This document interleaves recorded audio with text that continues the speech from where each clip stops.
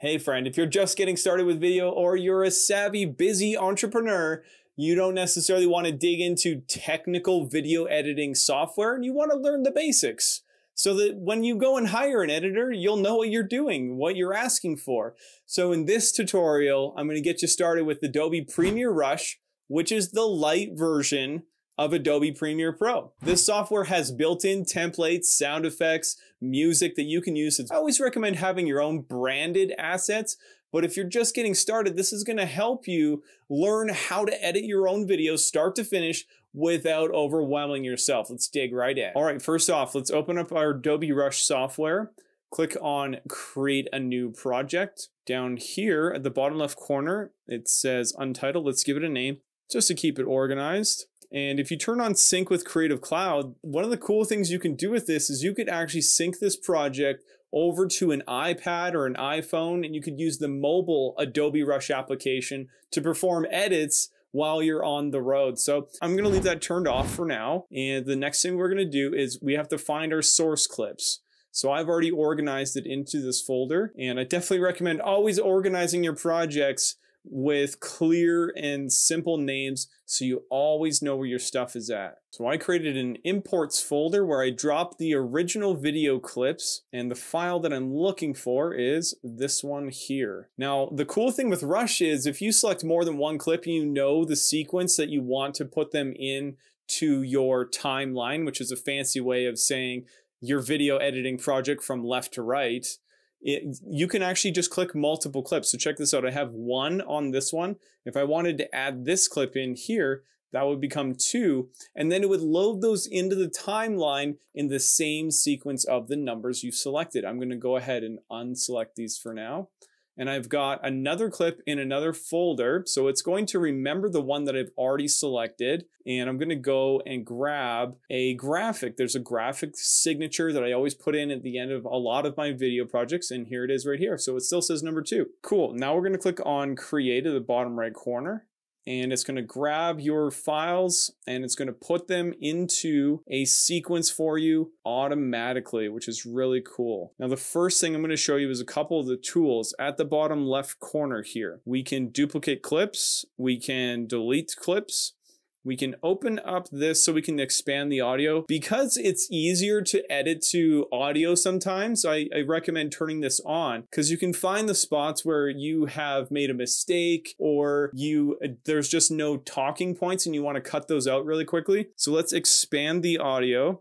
And the next thing you can do here is control track. So you can toggle this on. I'll show you this really quickly. This is a little bit more like other editing software. So the idea here is that you may have sound effects, additional audio clips, and you layer them on top of each other so that they play at the same time. The same goes for video. If you have visual B-roll clips that you want to put on top of your main video file. That's what B-roll is, by the way. It's just visual supplementary footage to exemplify your point. So maybe you have some of those clips, you can layer those on top of your main file, but we're keeping it super simple for this edit. So we're actually gonna turn that feature off and we're just gonna focus on editing to the audio and video.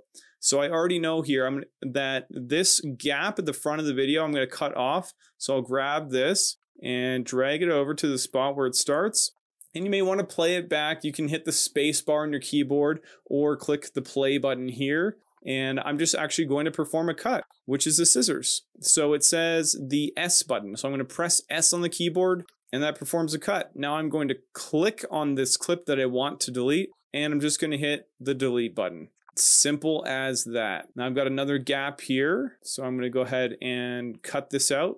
Just performing two cuts and then one delete. I would like to put a transition in here. We're going to use some free graphics and this is going to be super simple. So check this out. I'm going to click on the plus symbol and then I'm going to go to graphics and I'm going to pick this graphic here. You can browse through. These are free to use. You can add your own. You could have someone on Fiverr create some of these graphics for you that use your own brand. That's probably the best way to go, but let's try some of these templates out for fun. So I'm going to grab this here and then click and drag it down to this area and drop it in between these two clips on top of them. And if we drag the playhead across, we can see the animation come up and go away. Okay, so we can double click here and then we can just change the title. So this is Stoking the Fire.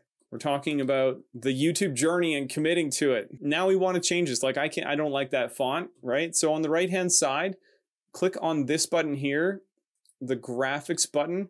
It opens up this panel. And now because I have this graphic selected, I can now go through this menu on the right hand side and I can start changing the things.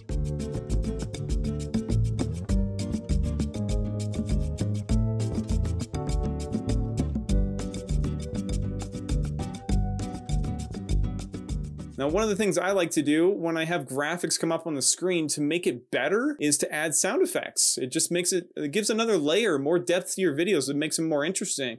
So we'll click on plus here, click on audio, and in the browse audio menu, click on sound effects. And I'm gonna look for a pop sound. Press enter, and now it's gonna search through all of these free to use sound effects. You can click on the play buttons to hear them. So we'll click add, and it actually just placed it down here in the sequence in the exact spot where the playhead was set. Now that graphic is way too long. I don't want it to stick up that long. So check this out. I'm going to highlight this. All you have to do is click on the clip, put your mouse on the right hand side, and then drag this over here. Maybe I don't want to lose the animation of the outro. So I'm going to speed the clip up. So we'll click on the speed button here in the right hand menu. And you can just change the speed of the clip by dragging the duration here. So it's eight seconds. I want this to be three seconds. Now I want to move this graphic and the sound effect together. So I'm going to click on the sound effect, hold down the control button, and then it selects both of them. And then I'm going to move them here to be the transition between these two clips. Now there's a lot more to this application. You can do some pretty cool stuff. I'm going to show you one more thing, and that is in the right hand side, if we want to change the audio, you can click on the audio clip here and then you can go down to the audio menu and you can automatically you can have the volume balanced automatically. You can reduce background noise. There's a few tools in here to try out and and test them for yourself. If you record your audio well in the beginning then you won't necessarily have to do very much here but this could help you fix your audio a bit. Once you're done your project we are going to export. So we'll click on share and from here, we just give this a name. Make sure you name the video so you don't end up losing it. And then we're going to actually select the destination so you can find it. There is advanced settings in here. You don't need to change any of the stuff because it was already automatically detected when you created the scene. So it says save to. I don't want to save it into a documents folder. I'll just save it onto the desktop or a folder called renders where I put all of my video clips to make sure that I can find them easily because it's annoying when you go and you send your video out with your software like Premiere Rush and then you can't find where you put it when you go to upload it. So make sure that you put it into a folder where you can find it easily. And the next thing that we'll do is click on the export button. So you can see it's not that hard to edit your own videos. Now, if you're just getting started with YouTube and you'd like to get some guidance in identifying your YouTube channel niche, I've got a free resource for you in the description below this video. It's going to help you. It's a seven-step guide to identifying your YouTube channel niche. Check that free resource out. And if you'd like to learn more about how to automatically transcribe your videos and stylize them and brand them with captions, check out this video up here. As always, thank you so much for watching and I'll see you in another video.